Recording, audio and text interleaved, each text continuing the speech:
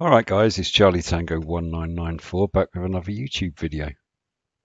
Like most people, I first got into radio because of the CB radio in the early 80s and I only got back into the hobby about 5 years ago. And as well as owning a different number of transceivers, I've also owned a number of cheap scanners that allow you to listen to a lot of other frequencies.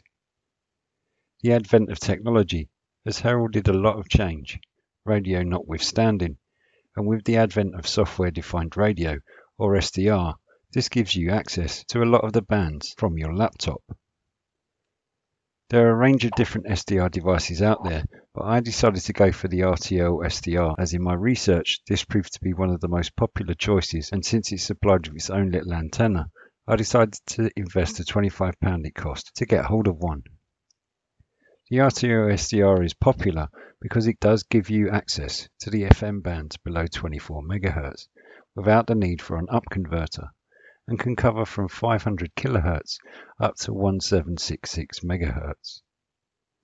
As well as the device, you also get this antenna mount and two adjustable antennas which can be tuned to the frequencies that you be most interested in, or using an adapter can be connected to a larger antenna tuned to a specific band. I've not used SDR before, so the first job is to find and install the software we're going to need to use it.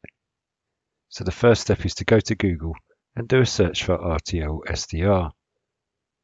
The first link here is the rtlsdr.com website, so let's hit that link. Next, we can click on Software, then RTL SDR software. The software that was suggested to me is HD SDR, so let's scroll down and find the official installation instructions found here. This then opens a PDF with more links and we need to go to the Zadig website to download the right drivers we need for this device. Whilst that is downloading, let's go back to the PDF and download both the HDSDR software as well as the DLL needed to connect the software to the device. Once we've downloaded everything we need, let's start the installation process. First off, let's plug the device in and let Windows Update download and install the Windows driver for it. Unfortunately, the Windows driver isn't what we need for the HDSDR software, so our next step is to run the Zadig software downloaded earlier to install the correct one. Once Zadig is running, select all devices from the drop-down, then look for bulk interface 0. Then replace the driver. Then go back to bulk interface 1 and replace the driver for that also.